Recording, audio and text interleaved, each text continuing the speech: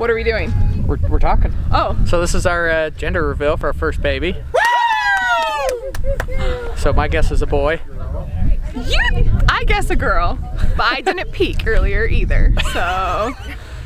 Did Okay, he? Let's see. No.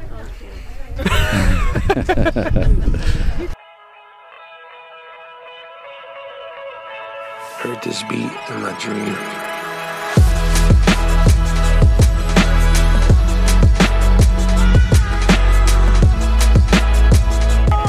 Be? So excited. A girl. gonna be a girl. I think it's gonna be a girl. Everybody, a girl? Girl. Oh, Trevor's yeah. Mitch? I'm going boy. Who's gonna put the right package?